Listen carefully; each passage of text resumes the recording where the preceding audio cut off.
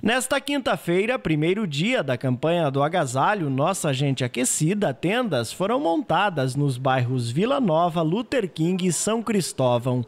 O objetivo deste ano é superar a arrecadação de 2021 onde foram recebidas 130 mil peças de roupas. Nós fizemos aqui um apelo à população que vá no seu armário, tire seu cobertor, tire seu casaco, aquele calçado, alguma coisa que você ainda usa, que você pode doar e ir lá no comércio, já ajuda o comércio também e traga essas roupas, porque tem muita gente esperando. E como essa campanha, a terceira edição, as duas já foram um sucesso, a gente tem certeza que essa será ainda melhor.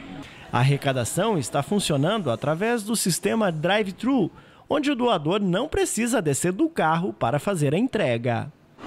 Nesta sexta, dia 6, a arrecadação de agasalhos será no calçadão da Praça da Concatedral, no bairro Alvorada e no bairro São Miguel.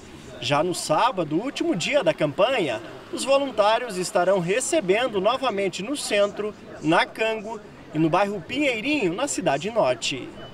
Os donativos arrecadados serão distribuídos a famílias em vulnerabilidade social a partir da próxima semana, através de parceiros como o Clube de Mães. Todos que são cadastrados nos PAIFs, nos CRAS da nossa cidade, CRAS, CRAS São Miguel, CRAS Padre Eurico e Cidade Norte, é só vir a partir de quarta-feira no centro de eventos do parque com um documento.